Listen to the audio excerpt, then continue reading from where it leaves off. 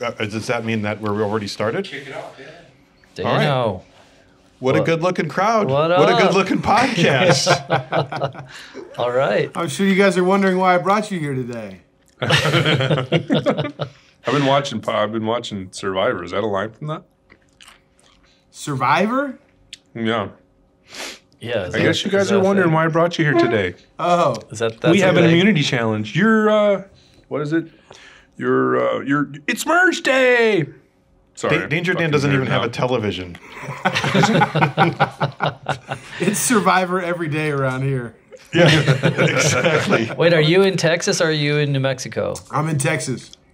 When do you go to? Do you go to New Mexico in the winter or the summer? Summer. Well, we actually, I took the kids up there for New Year's Eve and got them on the mountain snowboarding Oh, for the first time. Cool. How'd they do? They did. They got to where when they crashed, it hurt them. You know, they were Did going. they wear shoes? Uh, they did actually. That was a big complaint. The fucking the guy trying to fit him up was like, I don't know what it is, but none of these shoes fit your kid. And I'm like, I don't know either. Because their feet are splayed out. Yeah, they're just- being Flintstone feet. barefoot for so Yeah, they're long. Yeah, they're just square, like you know? Well, Wait, wait. I, I, I want to go back to that one real quick. I, last time I talked to you, I talked to you just around Christmas time, and you said, "Man, I hope to God my kids hate snowboarding because it's so damn expensive." Yeah, I did say that. Did, did they like it? Do they not like it? No, they did like it. Yeah, yeah, they liked it a lot. All right. Well, because they saw their dad doing it, and you, you know, they were just like, "Dad loves it." I don't know. Every, looks- when they saw me doing it, I was just like throwing snow at them. I was just making sure nobody else ran into them. And then when they fell down, I would just plow snow onto them.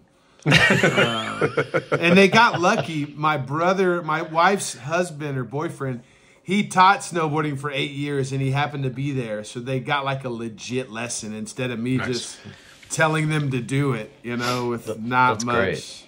What's the dynamic? Or because if I'm out there trying to teach my kids how to do anything like that, it's gonna get heated rather rapidly. That's why I'm saying they got lucky that he was there. You know, because I don't, I don't know how. I'm like, go to your toe side, now go to your heel side. I don't, I don't know exactly how to make that happen. Just fucking do it, kid. You know? yeah, that works really good when you're trying to teach your girlfriend how Oh. to do it too. Yeah, they love that. They love it when you yell at them and yeah. just throw words around like that. You should see Stacy and I in the kitchen. It's pretty awesome. That same that- kind of thing. oh boy, Like what? Like that's not how you make chicken Kiev. I just I, I don't know. It's like two type A's trying to do stuff, and it just doesn't uh, doesn't work out real well. And then by the end of it, if one doesn't evacuate, it turns into a, a bad situation. so just back up. What are the what are the kind of foods? I want to. I want a little bit of insight into the higher Well, household. I, I'm I'm like I'm consistent. I like you know chicken, rice, and beans, steak, asparagus, simple shit. She's Polish, so she likes sauce.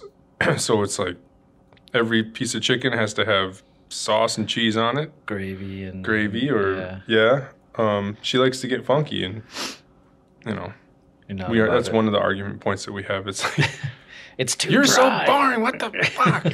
No, no, well- hang, hang on. Before we get into couples therapy, let's let's set this let's set this podcast straight. Sorry, Brock. Didn't mean to try to run away with the, uh, the Yeah, I was there. surprised you hadn't jumped in before now. Okay, okay. We got to begin. We're doing a podcast here. This is a Mama Tried Flat Out Friday podcast with our special guest Danger Dan, all the way from north of Dallas. Is that right? Animal. West of Dallas. West. You, West. right? And this is our number 50, 60. Yeah. Yeah. that wasn't very confident. This is our, our, our podcast. And so thanks, Danger Dan. I think it's really kind of funny that of all the people we could have chosen to help us do our first remote, it was you. And, and what I mean by that is I just never thought you even had a computer, much less a headset and internet. I got to put my podcast out somehow. no, you know, Dan, you came to Milwaukee like a bunch of years ago. Actually, I was gonna try to look up the photo, but remember when you came and you did you interviewed me with all your soul setup, your your portable remote setup, Yeah. at my house, like in like 2017 or 2018 or something. Yeah, like I went that. to your house. I went to Jeremy's house. Warren was just gone. Uh, and then I rode to your spot on the Mississippi River, and it was so fucking sick. Uh, That's yeah, that was right, good. On that's the way to the, I went to the X Games and then Sturgis after that. All right. Damn the X Games. Yeah, that was Dan, that's Dan, good. you are recording the audio on your end, right? Uh, yeah, yeah. Well, no, we're good. There we go. It's our first time. Well, I, I, so I, I, I'm, I'm impressed that you have the internet and, and these things. I just didn't think you to be as technical, technically savvy. Of course, you've got many other gifts and, and abilities. I just didn't think this would be one of them, and that's a compliment. But I do want to go back to you imagining you snowboard, and I, I can't imagine you having modern pants. Imagine you having like burlap snow pants and some sort of Yeah. oil stained jean jacket. And you're out there on the Uh, mountain it's with just the kids. some Carhartt coveralls. I was gonna say, yeah, and that same old gray Western shirt that you always wear. Uh huh. I like it. I like it. None of, by the way, that none of that is a, a criticism. Do you wear a helmet? No, Goggles?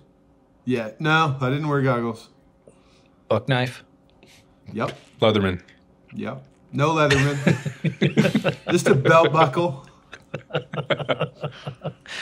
Right on. Right on. and going back to Scott's point about other, we have, have we have a long history of podcasting, if you will. We did do individual shows, and then I, you guys drove down or flew down to see Dan. Yeah, did that ever get see the light of day? Logan lost it. Logan. It was a great interview. I, I That am was sure. the best. It was good. We had You- a, it was such a good time, and we remember we had that whole setup with that car battery and like. Oh The- yeah. yeah, you guys caught me like right in the middle of my South America journey, dude. And I was fucking fret. I was full of stories at that point. Yeah. yeah, yeah, that was a good one. And it was nice seeing the homestead, and then that whole herd of cattle like walked right through the set. Yeah. And that was a good time. That place is really beautiful, Dan. That And- your home and is your shop, all that is so great. Thank Such a nice setup. It's too bad Brian had to lose that. Whoa, whoa, whoa, whoa, whoa. Do you mean lost it? Like I put it on this desk and now it's not there, No, or I, I never got the file from Logan. I got the audio somewhere from Scott. I have the, the hard the, the card still on my desk, but I never got. When I got the video, I never got the video from Logan. did did he did he just somehow like it, it didn't get recorded or I don't know. huh? You can call him. Let's call him. that'll be our next remote guest. yeah, right. An employee meeting with Logan. His annual review. To his credit, he, he hasn't screwed up since.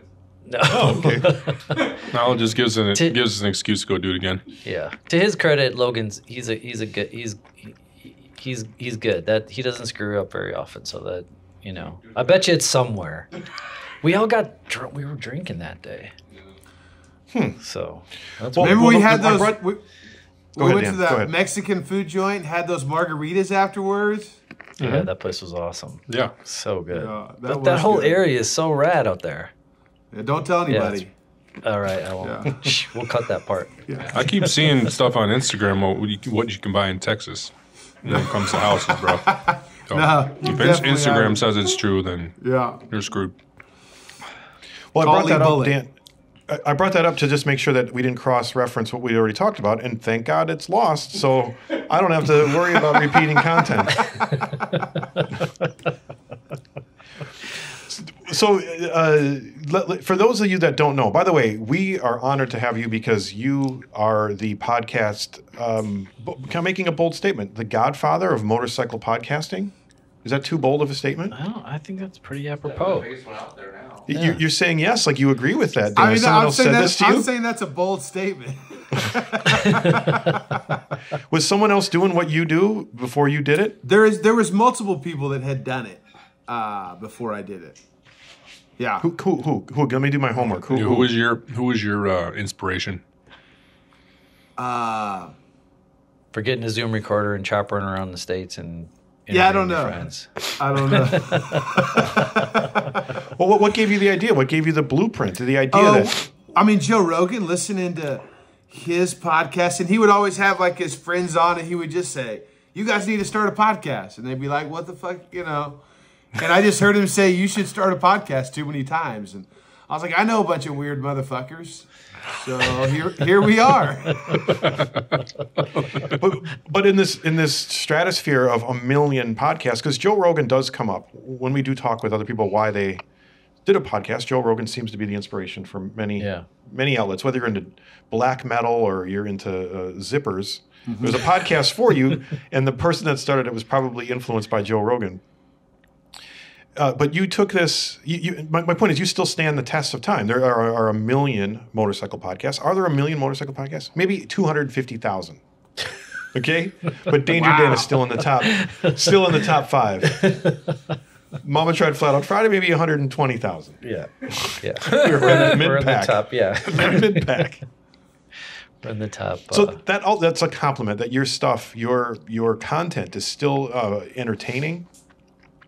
It's Well, still you, uh, you know, luckily, like nobody has a say. Even if there's nobody listening, I can still put that shit out every week.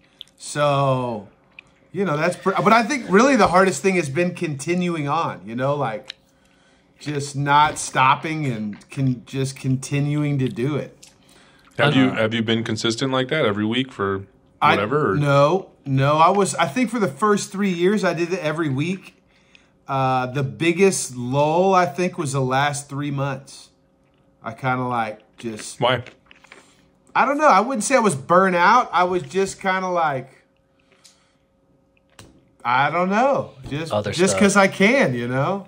yeah. Uh, but yeah, I think a little bit distracted, and since then, like I decided at the beginning of this year I was gonna hit it hard, and now I've got a fucking full calendar all the way up until Mama tried, All right. and then good. and then beyond that as well. So When you were doing all those legs of the South America trip, did you always bring your gear with you, your recording gear with you to do I that? did, I did. Yeah. It was with me most of the time, but most everything I recorded on a cell phone down there, unless I specifically stopped and talked to somebody. There was a lot of just like voice memos that I recorded. Oh, okay. That's Yeah. cool though. You That's more a nice trips like montage. that in in the works? Or are you what's you grounded? The wife's like, stay home. No, I mean that one. I mean, I didn't even plan on doing that trip. You know, it just kind of like grew out of a smaller one. Uh, I'm gonna ride through Mexico a couple times this year. Uh, I think I decided last week that I am gonna ride to Alaska, but I don't. I don't you decided have, that last week. Yeah, yeah. well, I, had, I never really like thought it was Yeah. necessary, but I decided last week. I'm like, you know what? I probably Yeah, should just go up there. I decided tag to sort my whites from my colored laundry, so that's where I'm coming from. Uh, but you know, Alaska's pretty close. So Yeah. Relatively speaking. I was really Are you going to to do it on the. Pan Am? Are you going to do it on the Pan Am or are you doing it abs- on your absolutely. All right. Yeah, unless I go break my Sportster out of the museum and take it. No, hang, hang on. There's a lot. There's a lot of juicy content here, uh, and I want. I want to just follow up, get our listeners caught up. Let's just pretend no one's ever met you, uh, Dan. Can you describe to us what just this this trip was that Warren and Scott were just talking about, the the South American leg trip? What is what does this mean to someone that, that has no idea? Um, so in 21, my friend put on a race called the Mezcal Moto Rally. And it was like a rally race from Austin, Texas to Oaxaca, Mexico. And it was three days of tacos, tequila, or mezcal. And, and then he had like all these challenges to do along the way to gain more points. And he, you know, he tallied them up and somebody won at the end. And I was looking at the map and Oaxaca's pretty far down there. It was like halfway to where my buddy's at in Costa Rica. So I was like, man, if it takes me three days to get to Oaxaca and everything's good, I'll just spend another three days riding to my friend's place in Costa Rica. Uh, and I did that. It actually took me seven days to get from my house to Costa Rica. And when I got there, my friend was like, You're an idiot. You have to go all the way to the bottom. You can't go home now. So I was like, You know, I probably should talk to my wife about that. So I flew home and I got my wife and I brought her back and I put her on the beach in Costa Rica. And that's when I told her that she was going home and I was going to go south. And I, I rode to the bottom of South America. All right. All right. That's cool.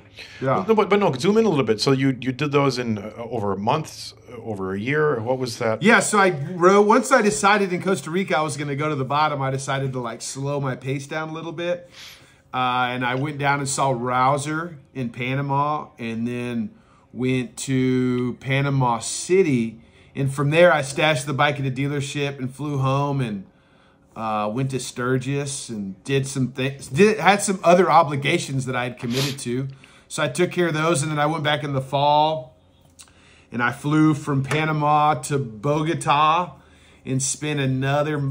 I spent. I think I spent three weeks in Colombia. And then when I got to Ecuador, the plan was to go to Quito and stash the bike, but Ecuador is like experiencing a bunch of protests.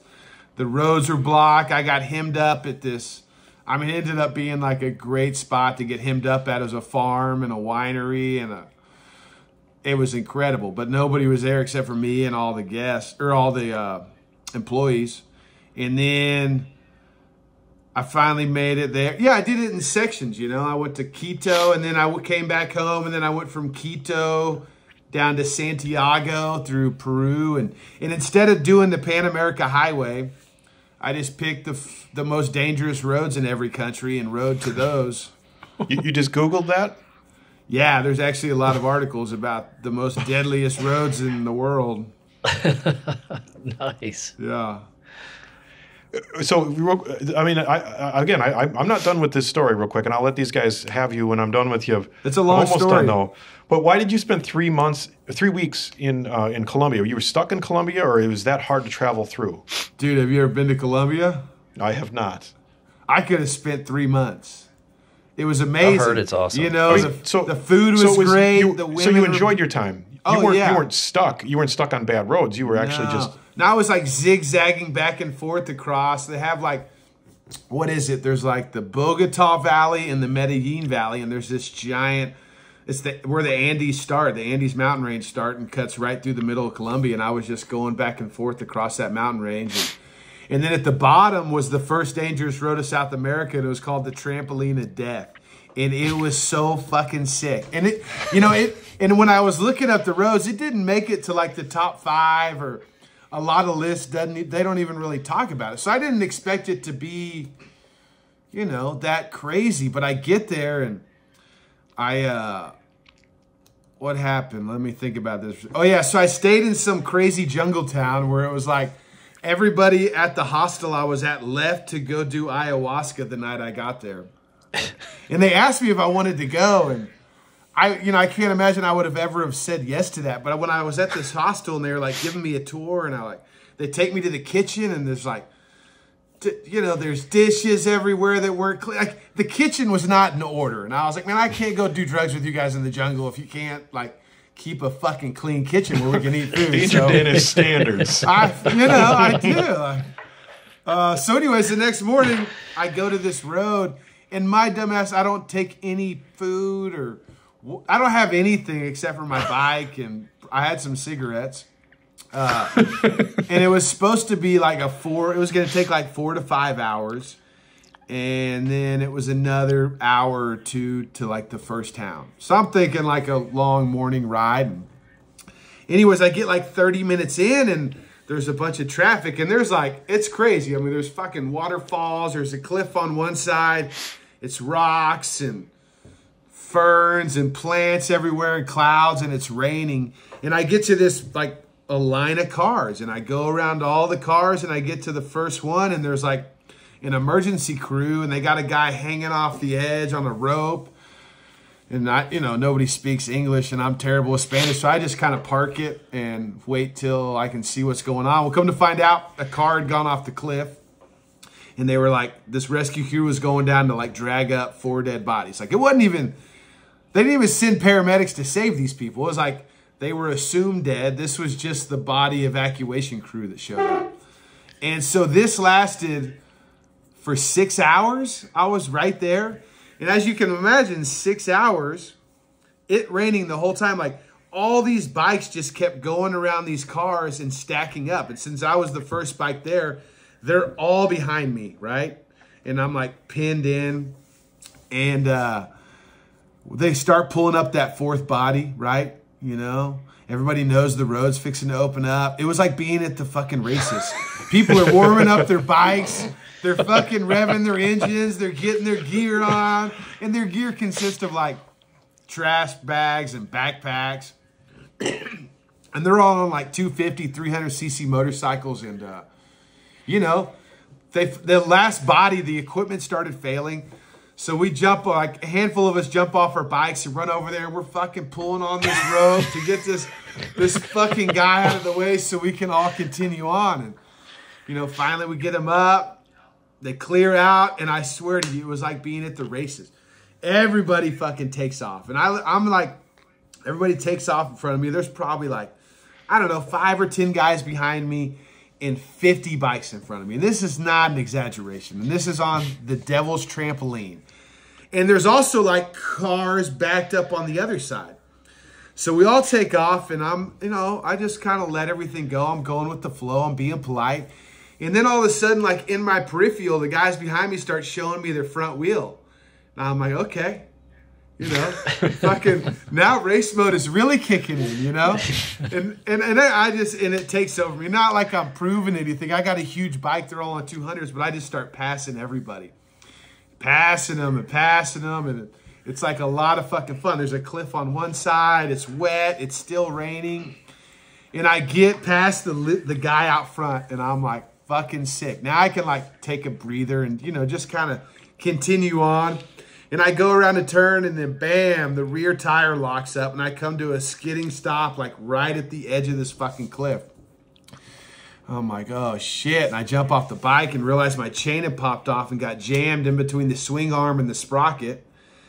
And it, I can't roll it, like it's not moving. There's, you know, next thing you know, I'm laying on the ground, fucking undoing the axle. And at that, while I'm on the ground in the rain, every single person I just passed is just blowing by me, not stopping. Not, I mean, maybe they're honking at me, and uh, all of them go by. Nobody fucking stops. I finally ended up having to pull the whole axle out. It was a fucking shit show. I let it get. The chain is way too loose, so it was really jammed in there. I finally get it all put back together, and I'm like, all right, I, now I can really just chill and you know enjoy the devil's trampoline. And I go for about an hour, and I you know I catch up to one guy. Then I catch up to another guy, and then I'm fucking back in race mode. And I now I'm just like railing again. I'm like, I'm gonna pass all these motherfuckers again. And I get to like the last guy, and he's pushing his bike. His girlfriend's walking behind it. So I fucking pull over. His chain had popped off. So I fucking fix his bike, get him back on the road, and he like looks at me and you know says thank you in Spanish, and I can see in his eyes he's like, "Fuck." I saw you laying in the middle of the road as I rode by you a couple of hours ago. You know, and I just I continue on, and at this point, I'd been out there for like, I mean, I think it was like fucking eight, ten hours or some shit. No food. You know, I'd been drinking some water that fell out of the sky and sucking on the shit that was wet. But I come up to the first place that has food. And it and I'm like, I'm so excited. It's a little roadside stand. And sure enough, it's like a fucking rotisserie with these full-size guinea pigs just spinning around. and I'm like, you know, I do want to partake. I want to know what these taste like, but today is not the fucking day that I want to eat guinea pig, you know? Like, and then I realized, I guess I'm not that hungry. And, and then the temperature dropped to like 30 degrees. Now, let me tell you how beat up and worn up I was. By the time I get to the first town, I'm pulling into town and I realize there's fucking tons of cars, tons of motorcycles everywhere.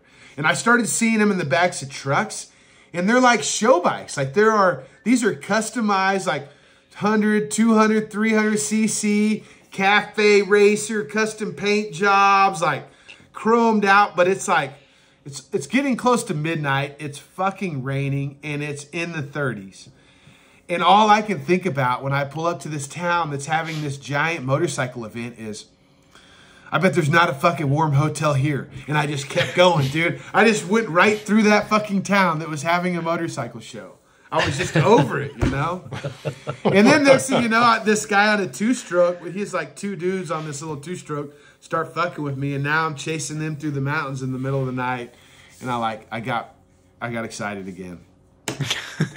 Roller Got coaster. your energy back. Yeah. Well, and, that and that night, and that and that night, where you found a place and Oh you yeah, got I a good night's found a sleep. place. Uh, yeah, I found a place, and they had a fire in the hotel room, and I, you know, I can see it over there in the corner. I like fucking order some fish or whatever, and then I, I go to like start taking off all my shit to go by the fire, and I realized that they had set up this nice little table for this couple that were having like this, you know, nice date dinner, probably an Romantic. anniversary.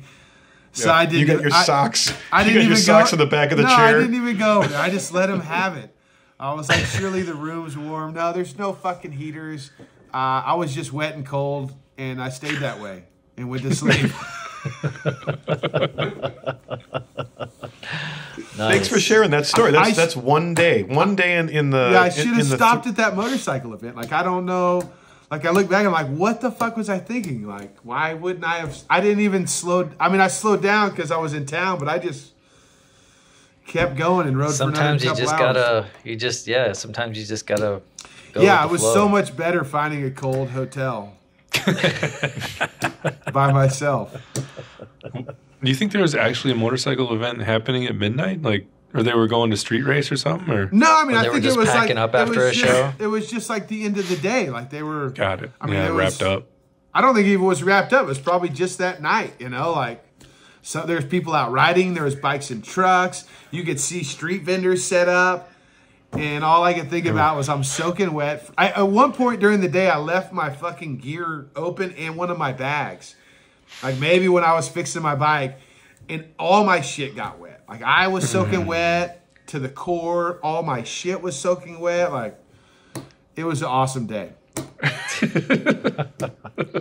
I mean, I think that's a good example of how the whole trip went, though. It was like, you know, it, it would be awesome, and then it would be fucking like, why am I here, like by myself? And, and then it would be awesome, and it was just sometimes those waves are close together, like in the same day, and then sometimes it'd be days of just awesomeness, and then all of a sudden I'd get reminded that, you know, it's not always that way. Yeah. When when you get to the end, you get to the actual, you know, where you're looking at, um, what's the the continent that no one goes to?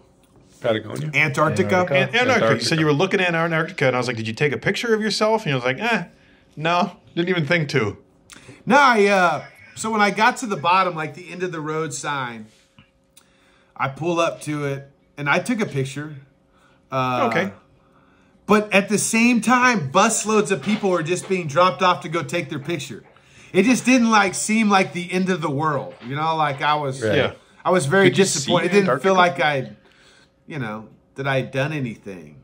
So I like got on the map. I'm like, there's got to be something else, and I found a road that was very remote that went off down the beach, and like it went just a little bit further south than where that sign was at, and I uh, I rode there, and it was started raining again. Uh, I get to the end and there's fucking nothing there. There's just the ocean and the trees and a fucking military base that looks like it's deserted, but there's a couple of guys in there. And then all of a sudden, out of the trees walks this couple. And this fucking guy, in perfect English coat, walks up and goes, Congratulations, you made it. And gave me a high five. And I fucking just like broke down. I was like, fuck yes. Like that's that's what I needed, you know? Like the the tourist spot into the road sign didn't do it, but like that guy's high five and the you know, at the end of the world was fucking solid gold. Yeah. C- Can you see Antarctica? Warren's asking. Oh no. No fucking No, way. No. No. No. How far are you from Antarctica? 100 miles? Right now I'm really far. Yeah, right now, Yeah, yes. You are slightly closer. at that we are. at that point i don't know uh, i did look into like uh, booking a plane ride or not a plane ride a boat ride over there uh, but it was not it no it was expensive and Didn't you have to like you have to get permission and have a guided guided tour and all yeah that? to get on there i mean but to just take a boat to go look at it you know that's pretty i mean it was still like a few grand it was pretty Wow. because it's all like cruise ships that take you and you got meals and Yeah. you know it's a it's a fucking racket Yeah. Hey Dan, when you were by yourself traveling, because you know I've traveled by myself, and it's a little bit it's it's kind of strange, right? Because you're seeing all this cool stuff, you don't really have anyone to share it with, right? To be like, look at that, or you know, check. I don't know, you Yeah, know, all those yeah. times where you're just like, look at that, look at this, look at this. Did you see that? So were you giving your like recording voice memos like as you went? I to, Like, was. as if. I was. I was doing. Sometimes I would do it every night. Sometimes it would be days that I wouldn't do it, and then I'd do a big recap. But I mean, I, I mean, that's the thing that's great about capturing this shit on the, you know, on the phone and being able to at least share it with the internet. You know, it's like fucking. Uh, but no, it's not the same, and that's honestly why one of the reasons I, you know, I wanted to do this trip years ago. I mean, that Sportster that's in the museum. The reason I built that was to do this. And before I finished that, Bear invited me over to Nepal. And I did that trip and experienced that with a group of people. And I was just like, fuck, this is how to do it. Like, I don't need to ride down there on my own motorcycle. Like, I need to get some friends and we all need to fly to Colombia and ride around. You know, like, Yeah. that's kind of where I was at. And then, like I said, this trip, I didn't really plan on it. It just, I was going to see a friend, and he was just like, and getting to see my friend in Costa Rica was fucked. Like, crossing Central America is not a great idea. Like, it's not a great idea if you have like your buds with you. It's just fucked. I mean, I got attacked by a bunch of like masked hoodlums and in the middle of Honduras, and fucking they lost my. I mean, it was a mess. So when he said it would be, I should go south, I was like, that sounds easier than going back through Central America at this point. Oh right. So, yeah, I wouldn't. Yeah, Well, let's go to Colombia and ride 200cc motorcycles around. yeah, no, dude, that's the ticket. I mean, that place, and it's fucking. The food's good. It's cheap. There was, you know, what blew my mind is there was beautiful women from all over the world with all their shit on their back using public transportation to travel around Colombia. And I was like, I just thought it was a more dangerous place than that, but apparently, they're doing just fine. Right. So. Yeah. Like, One like- bad apple spoils a bunch. Like Well- Ecuador and Peru are more dangerous than Colombia. Yeah. Uh, I mean, I think uh, they have their places. Right. Uh, I mean, I think Colombia's gotten a lot safer than it was, say, pre 2017. I think is when it really took a turn for the better. yeah. Uh, but yeah, I went to some places like where I could see signs of their resistance, what they call it the FARC, and like I sketched myself out a couple of times, you know, because I was. I would just find these crazy roads that would just go through the woods and the jungles and the coffee farms and uh, another idea I had is going to Colombia and buying horses and just going to all the bars and playing Tejon with all the locals and just ride your cow, ride your horse to the next bar, you know? Let's do it. I, I love listening to not only your stories, Dan, but again, you're someone that has a really great cadence. Has anybody ever told you that before? Uh, no. This is Danger Dan's Talk Shop. my, my, my family, If Everyone in I sound my like family- that, everyone in my family does that. The, my wife and my two kids will do that randomly. We're, we're at dinner and someone will say, "This is Danger Dan's Talk Shop," because I listen. We listen to it on car trips. oh, that's True story. good. That's awesome. And, and one of the greatest stories you you were talking about how how you talk into your um, when you were alone. Those are my favorite podcasts when you document being alone, and you're like, I'm now on a park bench. Um, there's, there's a story. My favorite one is when you were on your way to the X Games, and your uh, motorcycle broke, and Jason Rogers picked you up, and he did doesn't know who Jason Rogers was. Yeah. And you're like, and you're like, let me out. I would rather walk than my bike gets scratched. and and you, that's documented in live time in your podcast, in your in your phone or whatever you're using at the time. Yeah. That's awesome. Yeah, that's how I met Jason was on the side of the road. That's so funny. I think that was on the way that was on the way to California. Yes. Yeah, yeah, yeah. To the And you're like, I would rather walk walk six hours through the night cold, pushing my broken Sportster, than have me have him drive it. But the kicker is for the fear of it getting scratched.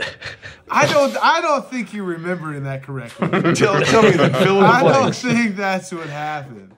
Uh, I don't know what happened. I know that he offered to give me a ride, and I was just like, no, no. I think I'm gonna I'm gonna figure it out, and that that didn't happen. And then somebody else gave me a ride. Okay. I think that the universe would like implode if you and Jason Rogers were in the same space at the same Oh, time dude, for I too much Jason for too many hours. I know, but there's a that's a lot of energy. Like you know, that's like a black that's like a black hole. Yeah. but like a positive black hole. You know what I mean? The reverse of a black hole. Yeah, exactly. It's the it's the other side of a black hole. Yep. On, on that trip, I want to just document. That's that's when I first met you, and I remember the moment that I met you. Um, you you came up to me and you, you must have known because of you were in California or, at the the the Born Free show, uh, and so you were there to to race. And I didn't know you or who you were, really much about you, but you came up to me, and I honestly thought you were you were panhandling outside of the front of of Born Free. Oh, that's awesome. but but I, I, I like that. I, I kind of like that energy. Like I, I you know I gravitate towards what's the word I'm looking for, Scott? Give me a vocabulary word here. People I- that are Did I get any money from you? no no, but you just came on to me and you like grabbed my coat, like you know like grabbed my shirt. You know, and like shook my shirt, like, dude. I was like a taken back. I just jumped into your You shake personal some space. change out of your pockets. like what does this guy want and then i was like oh oh hey man and i just i really like I, I liked your energy not only your positive energy but i already liked you from across the room because of the what's the word i'm looking for scott? When someone is a transgressive. No? What's the word i'm looking for? Give me a vocabulary word. Just, I don't know. Just positive energy. no but he has positive energy but he also has a bit of a uh, a, a hobo look okay? And it's that hobo look that attracted me I That, think I whoa, was this- shaking you down for tires because that was the deal. It's like I think you were shaking me down for you were tires. like, you know, if we race here, we get some free tires. Like, hey man, I need those fucking Yeah. tires now, dude. now. That's exactly. Can I have them now? And then I'll just win later. Yeah. So the the the only picture I have from that race is like it made it into the enthusiast, and I'm literally going backwards on the track, and it's giant. I'm like. Kurpius, what the fuck? Like that's the picture you picked to put in the magazine. It's me going backwards on the motorcycle track. Well, that's very fitting to the the video I keep seeing on the interwebs of you in your fucking suit and getting on your bike side saddle and running over fucking tough blocks. Big old That smile. one You should have had a cigarette in your up. I know mouth, it's bro. so good. Oh man, yeah, that was uh, you know I didn't want to let it go. I, you know it was it was gonna it wasn't gonna stop running. It was in gear. You know Yeah, yeah. Just hoping to hold on. I didn't want to rip a hole in my pants. So I was like gingerly trying to get that leg over. You know they just they just weren't built for that. They're not stretchy pants. Did- well, let's. Why don't you explain that story to those that don't know? Warren's talking about the video clip, uh, the bold statement. It went viral At Flat Out Friday. of you on Flat Out Friday in slow motion. Uh, you, I don't know. Did, did he fall? How did you No, come? he didn't fall. I was like, How did he get off the almost bike? like rear wheels slipped out, but he saved it and then No, kinda no, no, fell I- off and like kicked off the back. No, I fell to begin with. And Oh, then that was you I getting back up? up? The, the- yeah, the I picked the bike up and it took off, so I jumped Oh, on right. s- side saddle, uh, and so that suit I'd gotten in Kathmandu, I don't know, in November before that, and I wasn't sure like where the fuck am I going to wear this suit? And then you guys reached out to me and asked me to take over the podcast, and my buddy Randall was like, "You should wear that fucking suit at the podcast," and I was like, "Yeah." It's- yeah, I should take this suit to Milwaukee. I was like, I might as well fucking wear it at the racetrack too, you know? Uh, it seemed like a good idea. You know, it's, it's a wild suit. And, You saw did- that suit. It's a It was, it, wild was, it was in a store, or you had that made, or what? What's the story? oh, with no, the I had that made. So the last, the first time I went to Nepal, Pat from Lead Sled and his buddy Gary and I, uh, I think maybe me, Scott, one too. But anyways, I think Gary had the idea that we should go get fitted for suits. And we did. We all got suits at the beginning of the trip. You get fitted. We pick some pick some material out and this guy makes you some custom suits. And at the time we were not very creative. And the guy that we got to make on, we, they were like shitty used car salesman suits. and uh, so when I went back, I'm like, I gotta do that again, except for get something more Nepalese, like you know, like get some more of the the culture on. Elaborate. Some flair. So uh, yeah, that's how I ended up with that suit that you guys are talking about in the video. Didn't he? Did he? Did you say he tried to talk you out of that pattern or something? Oh yeah, no, yeah. The guy was like, uh, "Yeah, that's the that's the fabric we use to make women's robes." And I was like, "Yeah, that's that's that's what I want you to make me a suit one. out of." Yeah. You know? yeah. What would that suit cost? What that suit cost you? Uh, I think it was like hundred fifty bucks, maybe. Yeah. Dope. Yeah. You get the hat. Did you get the pointy shoes too with it? Uh, no, no, no, no. Was there a vest? There's a vest. Yeah, poots. What is it? Pants, jacket, and a vest. 150 bucks. I think you know it went up this last time. uh, I went over there, and I and I go over there to Nepal with uh, Motorcycle Sherpa, Bear Hotton's company. And this last time, uh, I think I paid 190. So the prices are going up, and and I had six. I think six of us all got suits this last trip, and uh, a couple of them I think spent over 200 dollars. They had you know they had some requests. there was quite a bit of flair. Yeah. What, like bell bottoms or, you know, special Uh, like maybe- stitching maybe- on the pockets or something? No, maybe it was the material. You know, All right. I think the one I got this year was Fair like enough. made out of curtains. yeah, I'll bring it. Okay, we're looking forward to it. I know. What color is it? That's Get one made of out of like colors. like a yak fur, like a whole yak. Oh, you know, man, like, Like a- just like just with that long hair, you know, suit. just like yeah, that's a pretty good idea. abominable snowman. I got a yak tail. Really? Yeah, Uh, Did you? He, he he probably wasn't too happy about you cutting that thing off. yeah. No, I don't want to tell that story here, but I got a yak tail. Okay, okay. Uh, Some things are just not good for the I got a black one and a white one. The same way you got the the um, flamingo leg. No, no, the, the flamingo leg. No, it's different. Sorry. these, these are inside jokes that we will let the consumer or the listener uh, fill in them at their imagination. Wait, Dan, because you're because you're in Texas and you and you have a place in Mexico too, so you you ride through Mexico a lot. You it's it's really it's something common for you, right? So like for the listeners out there who are like, "Whoa, riding through Mexico," I've done it once before, Yeah. but like it's what's it like? Like, what do you Well, what do you our- love our about pla- it? And- Our place is in New Mexico. yes, but I'm saying, but like just you're you're in the. It's like we're close to Canada. Like people would be like, "Why don't Oh, you yeah, go yeah. riding through Canada all the time?" Oh well, Mexico's awesome, and it's like Yeah, it is awesome. you know, it it really feels adventurous when you go to some place where they're not really speaking your language. The signs are in a different language. Uh, the food's totally different. The roads are are you know some of them are great, some of them aren't. Uh, you know, it's just got a real outlaw vibe down there, and Yeah. it's fun and it's exciting. You know, like you know, it's obviously fun to travel on your motorcycle, anyways. But you add an element of danger. It's just exciting, you know, Yeah. and it's beautiful too. I mean, the that country is really, really. I mean, you go from the mountains down to the desert and to the ocean within a few hours, all on the same day. Uh, it's Yeah. pretty fucking epic. Yeah. Have you, you said you were looking forward to taking some trips down there this year? Do you have a couple destinations in mind? I do. I want to ride down the Baja. I want to. So normally, when I the past few years, I've gone to the El Diablo run on the chopper, and I've gone straight through central Mexico, and then up the Baja to San Felipe. This year, I want to go the other direction, but on the Pan America, and do a lot more off roading through the Baja, and then take the ferry back over and go straight through the mountains. Like I, there's some roads that I want to go explore that go through the Sierra Madres and cartel country and. Uh, I tried to do them on my chopper last year and it just didn't work. You know, they're, Yeah. they're fucked. Yeah. yeah. nice. Dan, Dan, tell us about this Sportster that you have here in Milwaukee in the in the museum.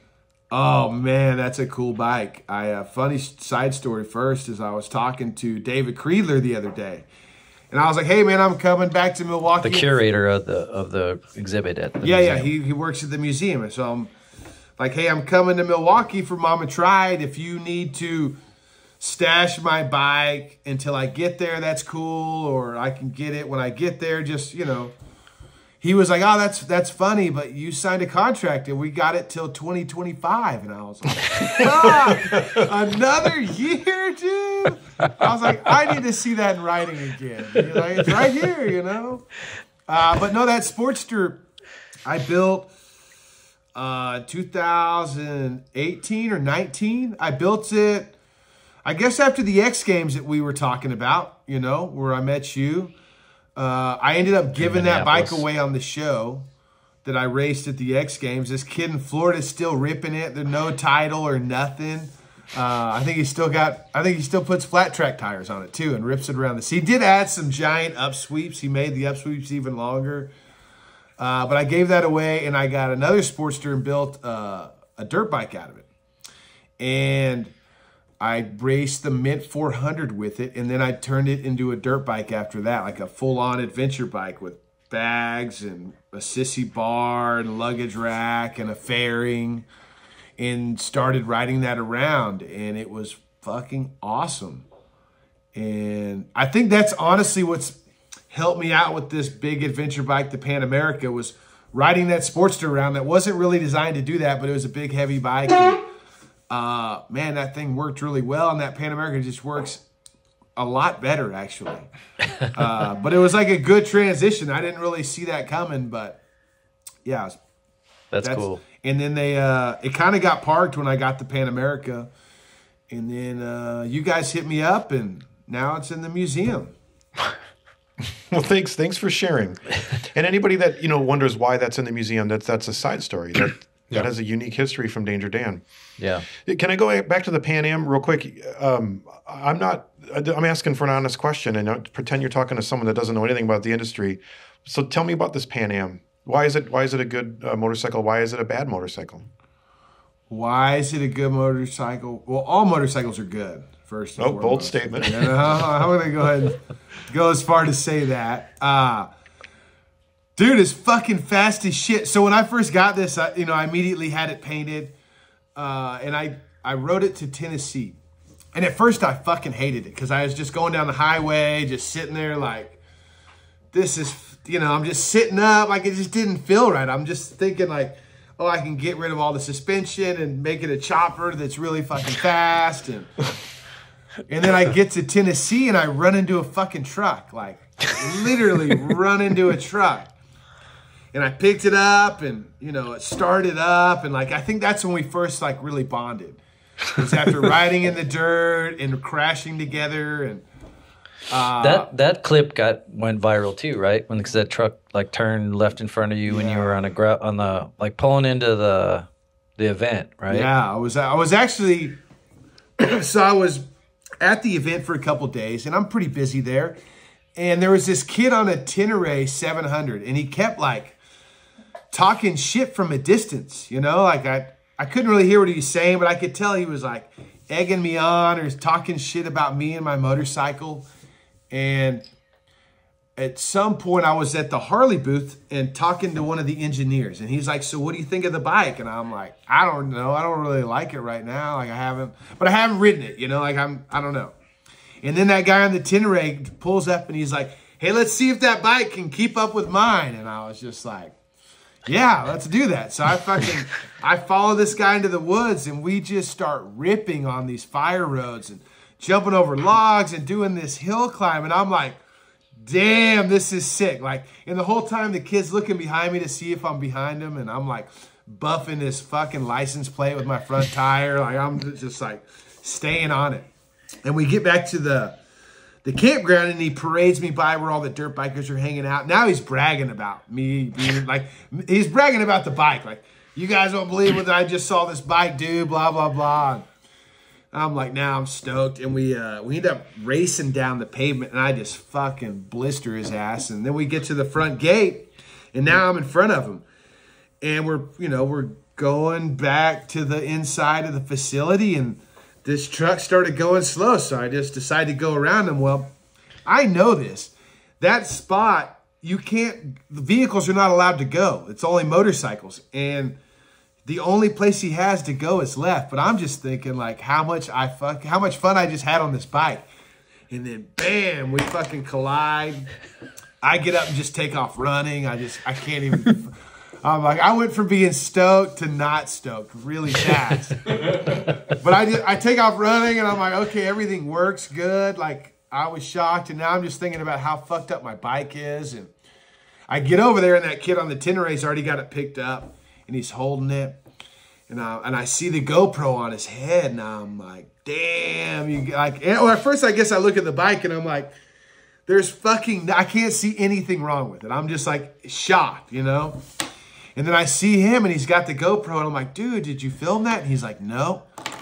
And I, and I could see the red light blinking, but I'm at this point I'm like, whatever. I don't, you know, like I'm not trying to have this conversation right now. And the guy in the truck has gotten out and he's asking me if I'm okay, and I'm like, yeah, dude, I'm fine. And he asked me again, and I'm like, dude, I'm fine. And then I see blood like fly over his head. I, look at my arm and just realize that like there's the skin's gone on my right side of my arm. And he was freaked out that he hit me. You know, I it was my fault. I'm trying to leave as fast as possible.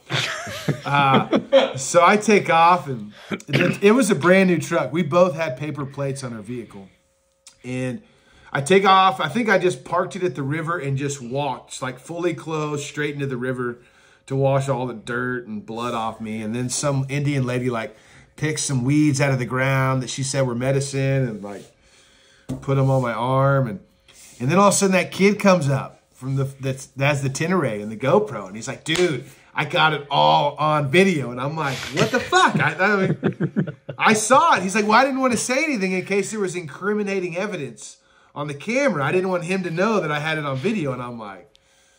That's pretty fucking smart, you know. Uh, so yeah, he he showed me the video. He has since then sold his Yamaha and bought a Sportster that he turned into a dirt bike Right. and I see him at Tennessee every year. That's Uh, great. but I mean, I did that, and I ended up. Well, the next day I was going to go on a ride with Lichter, and when I hit the truck, it, it ended up smashing the crash guard into the radiator hose, and the radiator hose was smashed into the the exhaust pipe. So it was obvious that that shit was going to melt uh, and I needed to fix it. And um, it's like ZZ Top's playing on stage. I'm behind backstage with my bike, my friend Carlos and Josh Kurpius, and I'm like, dude, I gotta fix this bike. I gotta, I gotta go for a ride in the morning, you know. And Kurpius is like, man, that's the thing with these new bikes, you know, like you can't really just fix them. You gotta like buy new parts. You know, I know you don't know about this yet, Dan, but uh, you know, this isn't our chopper. And I'm like, no, fuck that, Josh. Like if this happened to me, you know, so like I, I like there, I gotta fix it. Like we, we have to fix it right now. So he's like, what are we gonna do? Just like fix it with what's in our hands? And I'm like, yeah, that's what we're gonna do. And and he's holding a beer can. And fuck, we ended up making a heat shield out of the beer can and cramming it in between the exhaust pipe and the radiator hose. And that fucking beer can is still there. I rode all the way to the bottom of South America with that beer can in there. and I proved Josh wrong. I'm like, this is like my fucking chopper if I own it. You know, like I will figure out a way to fix this fucking thing. All right. So that's the good thing about it is it's like, uh, you know, it's it's you can be fixed. You know, you can break it Yeah. and you can fix it. Yeah. I think I'll do. I would do that with any motorcycle. I know a lot of people ask me like, "Well, what do you think about the Pan America?" I'm like, "Man, my newest dirt bike was a 1977 XT500 and my 59 chopper. This 2021 motorcycle is fucking incredible. It goes fast as shit and it stops. It's got front brakes and rear brakes. I'm, I'm, not the person to ask. You know? Suspension. if you're gonna compare it to another modern bike, I, you know, this thing's fucking incredible. Wh- Where is this bike right now? Uh, it's in my shop. I was just actually like going over it because I'm gonna take it on a ride next week. Nice. And you, you told this story at the last Mama Tried. Or was it two Mama Trides ago? Right? You you, you had a, a, a display. You had the bike on display Yeah. Oh, that yeah. was probably two years ago. That was last years ago? year. Last year. Last year. And and you told these stories. People must have been curious, like listening to this. No, I, I was stuck in a dungeon talking to people all day long. Oh, that's right. I, you got suckered into that gig. Poor choices. Was No, last I year was- when we did the was- two shows back to back? No. Or was that two years No, ago? that was, that was two years ago. He he just you had your bike shipped up, right? Yeah, And then so it just I, showed up. It barely made it through customs. yeah, Oh, yeah, I, that's I, right. It showed up in Milwaukee with a bunch of coca leaves in the tank bag. there was a flamingo leg sitting on top. I can't believe it made it. Honestly, Yeah. You didn't check the box that you were bringing livestock back. no, they didn't. Uh, or I didn't check that box. But the reason I was telling that story is like when I first got that bike, it goes really fast, and I got pulled over like six times that summer, by you know for speeding. And every single time the cop would be like, you know, you know how fast you were going, and I'm like, I was going fast as shit. You know, this bike is really fast. And they'd be like, oh man, that's the new Harley Pan America, and I'm like, yeah. and I didn't get any tickets or nothing. Really? Yeah, Well, yeah, Nice. you're, you're. I'm sure your positive and upbeat attitude was Yeah, the, the I- reason why, not I- the bike. I find that if you like communicate with those cops when they ask you questions instead of just like telling them why they shouldn't have pulled you over, uh, Yeah. they're pretty receptive. You know. Same, same here. Yeah. What? What? Do you know What a I pulled you over? Like, dude, I was speeding. Yeah. yeah, you got me. I don't know. I got. A, there's a couple reasons you should have pulled me over. Uh, which one did you pick? yeah, I got two kids in the back. It's late. I'm the only one out here. Yeah, I was doing 20 over. Sorry. Oh, Oh, lost just lost our sound. Oh, there it Oh, is. there it's we are. back. Oh, Oh. it's gone. Gone again. His, uh, uh, his end? Hey, Hang on, Oh. Danger Dan. We have a oh, Hold on, technical Oh, glitch. there's have a- something a that's loose wire. It's Just for the record, dipping in on and my out. side, everything works great. How's that now? All right. yeah. All we right, sounded that's great. Now we're good. We're back. We're good. Thank you. Hey, Danger, I, got, I just got a couple questions I want to ask you that I've never heard in your podcasts, or if I missed them, but some basic housekeeping stuff. This is a question that I've asked all of our guests. You know, you have a nickname, Danger Dan.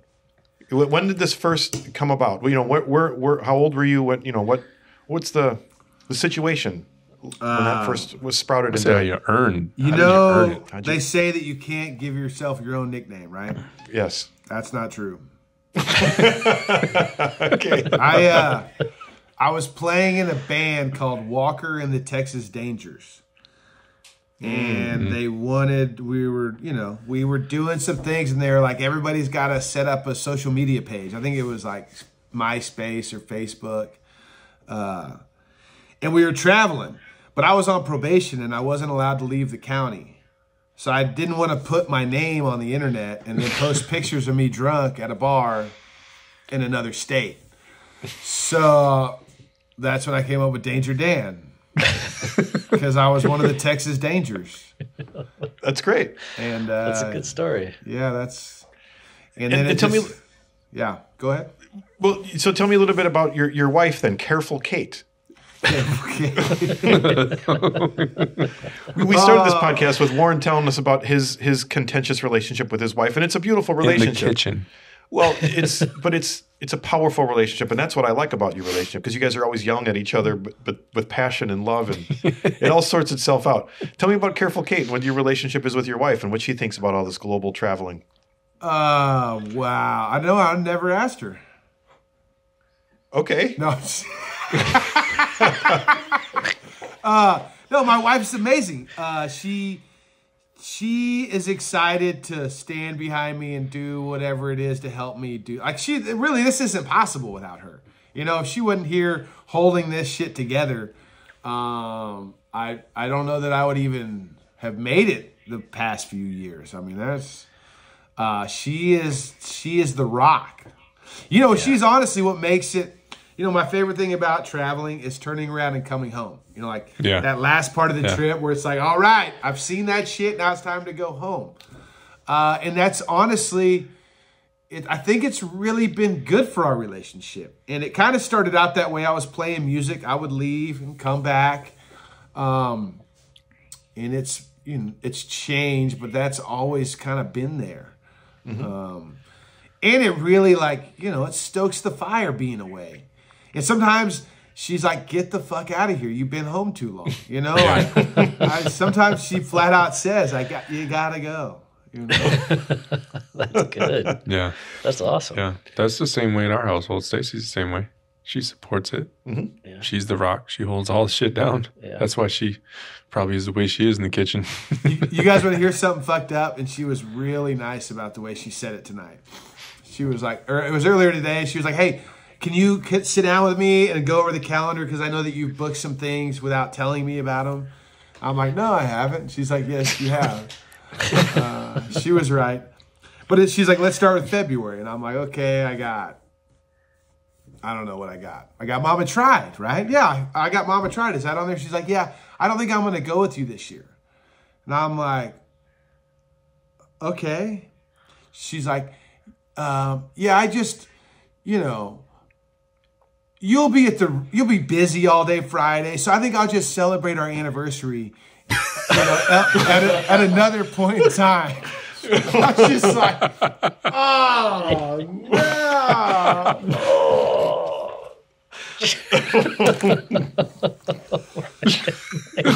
I was just speechless. I didn't even know what to say.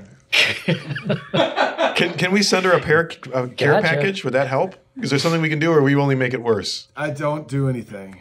Can we send her a Mama Tried hoodie? You can do whatever you want. Okay. I What was that thing we all sent the wives in Sturgis that, that Kevin? Oh yeah, the uh, uh, uh, fruity bouquet. It was a What was that? bouquet of fruit. Yeah, it worked.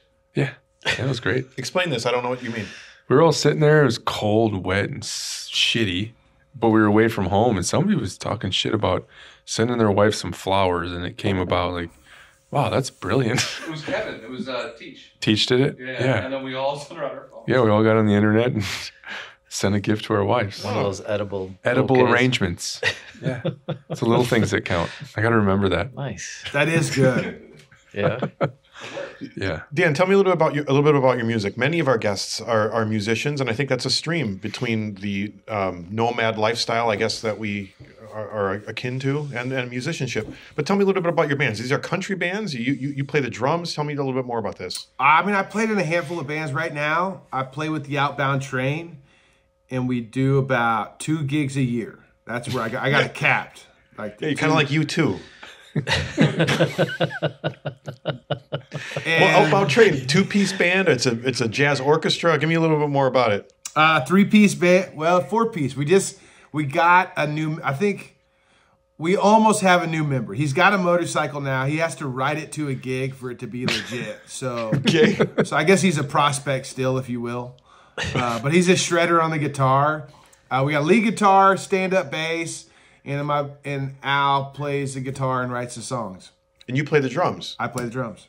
And how do you fit your drums on your chopper? It's tough. no, no. Doghouse gets a pass. Doghouse, the bass player, has a van. So he was grandfathered into the situation, but everybody else Okay. has to ride a motorcycle. All right. Do you guys have band practice Yeah. in, in, in Dallas? Yeah, yeah, yeah. In, in, in, usually uh, it's like Texas? usually it's like the week before we have a gig. Okay.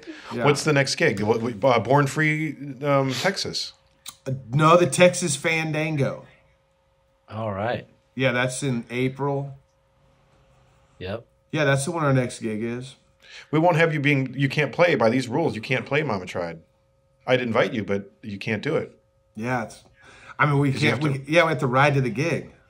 That's what I'm saying. I mean, like I quit. I quit that band, Walker and the Texas Dangers. We were out on tour, and uh, I was on my bike, and the fuckers pissed me off. So I rode home from someplace in fucking Iowa or Illinois or some shit.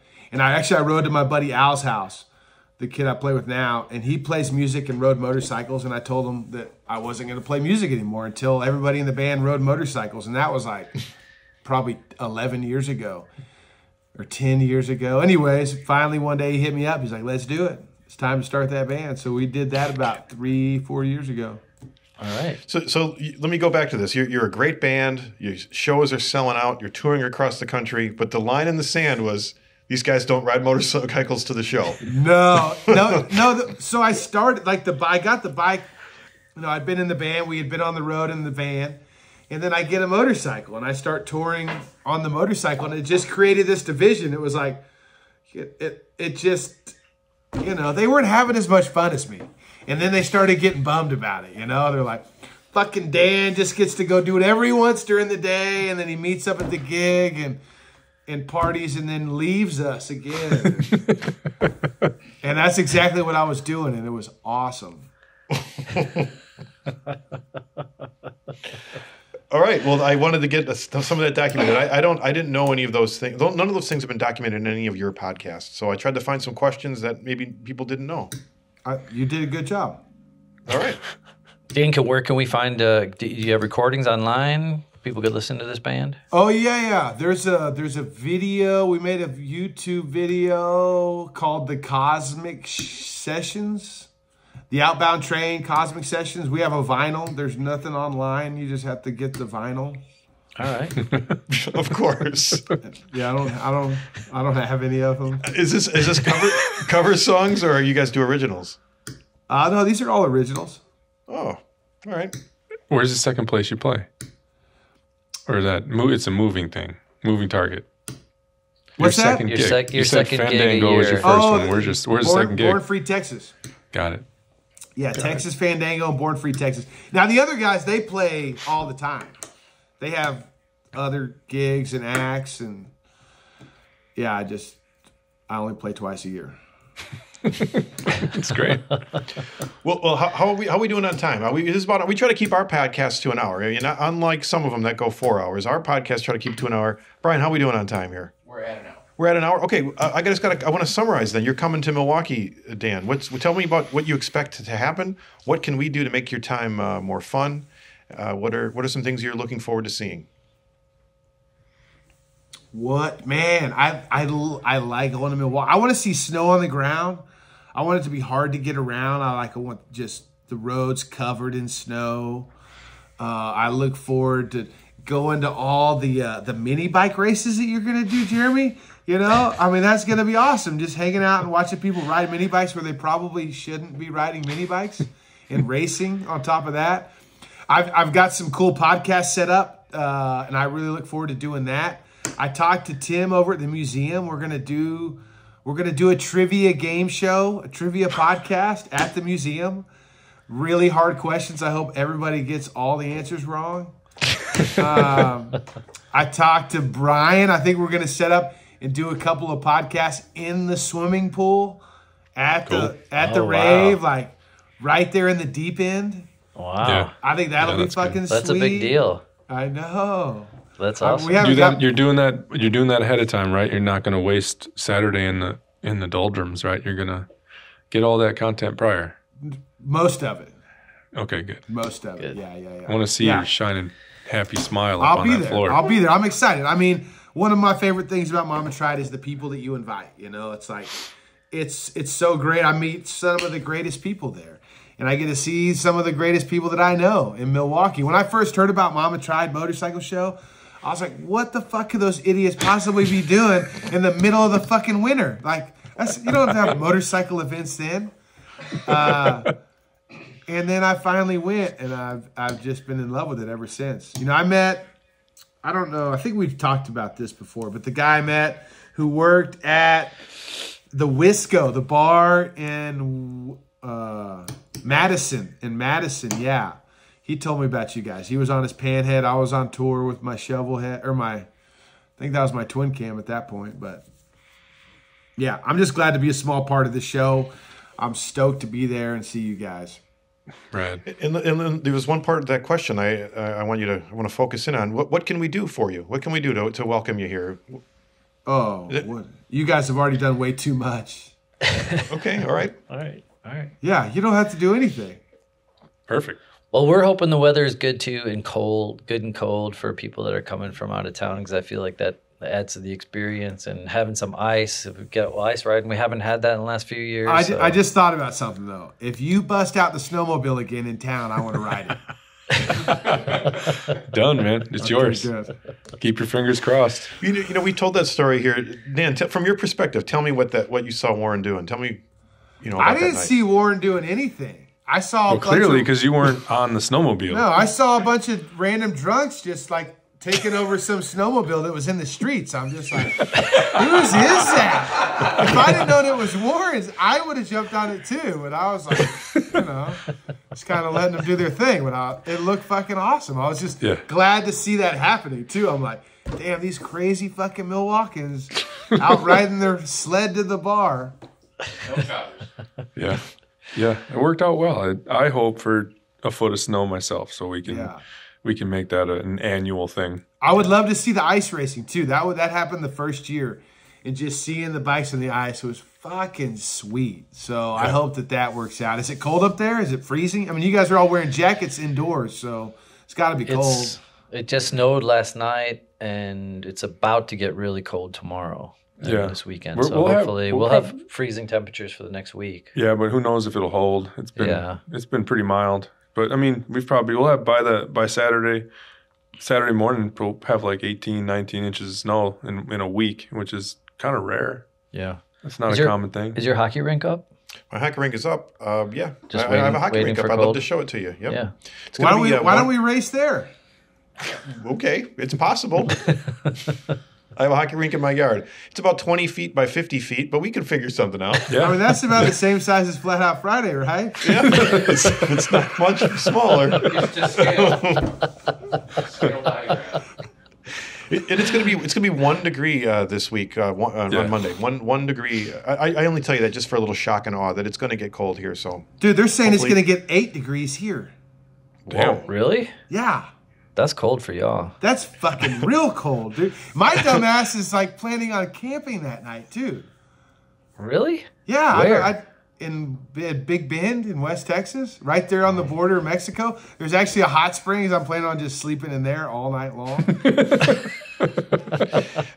you told me it was so hot in Texas one time. You went outside, walked past your grill, and you thought it was turned on. You turned the propane off because you actually thought the grill was on. That's a true story. Yeah, that's an image of how hot it is in Texas. Oh man, well thank you guys for having me on. Uh, this has been great. I look forward to coming to Milwaukee next month, and uh, we should do something for my wife. You know, I think that I, I'm gonna I'm gonna figure something out. Yeah, that's what I was getting at. What can we do for you? Let's let's figure out something for your wife. Yeah. Okay, that'd be good. Yeah. we always like to see her up here, so We, we are a family a community here. We are, you know, we, we work in our, our, our significant, significant others, our families, our boys, our, our, our girls. Um, so we, we, we, we feel you for leaving your wife on the anniversary. That's that's something that doesn't isn't lost with this crowd at all. I mean, I what was I thinking about getting married on February 23rd? you want to know something funny about that? Is my parents and her parents got married on the same day. That's Wow. jaw dropping. wow. and I thought it was February 23rd.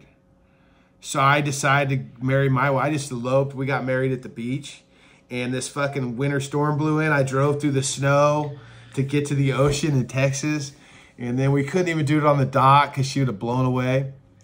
And I get home and I'm like, Dad, why the fuck would you get married in February in Texas? He's like, I didn't.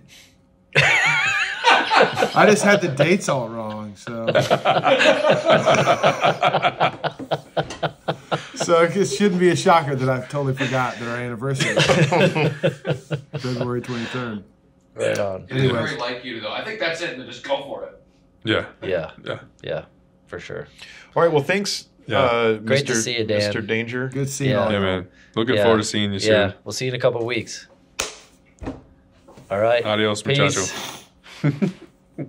closing closing thoughts for uh, Danger Dan. Well, I um, he's again. I think for me, he's the uh, the godfather of what I'm trying to do with this podcast. Maybe you guys have different goals with what this podcast is, but I I think it's just so genuine, so um, so unscripted. So uh, outlaw. He used to at the beginning of his podcasts. He used to have music, and it was it was it sounded to me like NPR quality. I, when I first heard it, I assumed this guy had producers and and, uh, and and an editing team, and then he showed up at my house and he put a recorder on the kitchen table, and that was it. Yeah. And then Yeah. and and I was like, hey, you know, can I edit that out? And he's like, no, we don't do any editing. And, and and and he and he left his his clothes drying on the fence, and I was like, you might want to take those with you. And he's like, no one's going to steal my clothes.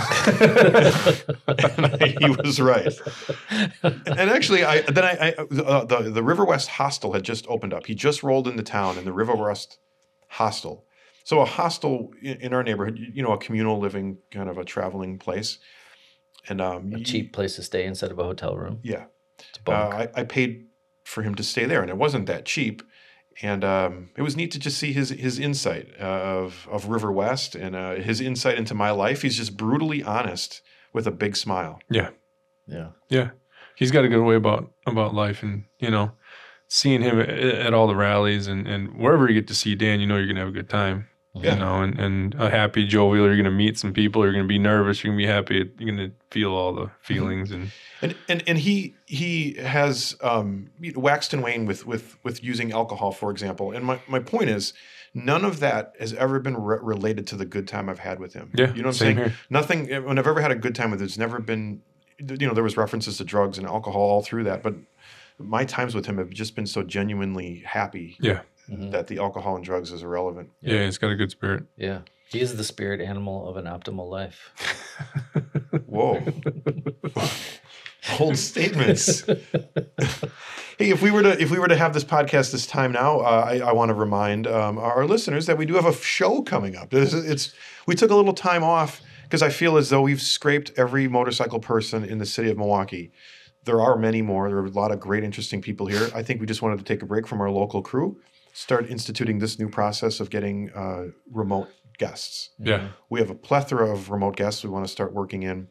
So, so my point is, those of you that were eagerly awaiting by your YouTube channel, where have those guys been? Well, I think we took a natural holiday break, and um, and we're back, and we'll start doing this regularly.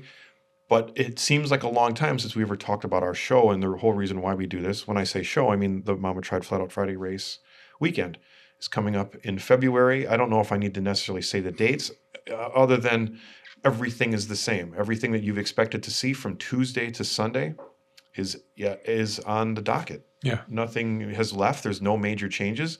Hey, what's going on with Mama Tried? Well, I have no questions other than the history we've done. Yeah. 10 years this year. I'm going to blow it out. Have a good time. February 23rd, 24th, 25th. That's the Friday, Saturday, Sunday. But then we have all the stuff that happens in the week before. hmm And we'll And we maybe can a un- snowmobile in the street. yes, and we can unpack all of that in a in a later podcast. But I just want to make sure that we're hammering that in. That that is what we do ultimately. That is what Yeah. Pressure is building. Do you, Yeah. fe- you feel it yet? As soon as New Year's Day, the sobriety of New Year's Day dawned, and I know that we all thought this, we'll take Christmas off. And then the New Year's Day happens, and holy crap, I'm way We behind. got- yeah, we got a lot to do. Yeah. Today was a busy day for me all of a sudden. I don't know why. I told Thor that um, when I had a conversation with him about planning his event um, coming up, his event, the One Motor Show, and he said that's why he doesn't do his event in February anymore because like he's like I only have one month to plan because Yeah. I take Christmas off or I take holiday off. It only gives me a month to plan, so I needed to move it back, Smart. or I Smart couldn't, move. or I couldn't take a Christmas break. Yeah. Yeah. Well, that's where we are. Whoops. Oops. So thanks, thanks, Brian. Thanks for leading this. Brian, yeah, thanks for the uh, for the technology. Um, we've I feel like we've we we jumped a whole bunch of steps Yes. to we learned some things today. I We think it went really well, but I think a TV would help. But You know what I'm thinking? We need two of them things because one's going to be in transit if we're going to try to do this weekly. yeah, well, it actually worked. This is the first time we can talk about this off air, but um, but let's talk about that off air. Okay. Yeah. I, I do want to say that I, I slurred my words there a little bit. I'm having a, a uh, with Danger Dan. I'm having a little. What is it called? Vertigo. Vertigo. When I when I'm with his voice in this, so I got to get used to that. Is all I'm saying. I'm not used to this high quality shit. Yeah, you're you're really crisp and like, you know. It's a little off throwing. Like the first time we were in a punk band and they had monitors, and you're like, ugh. that's what you sound like. That's what I sound like. Well, All right, let's call it. right. Thanks, guys.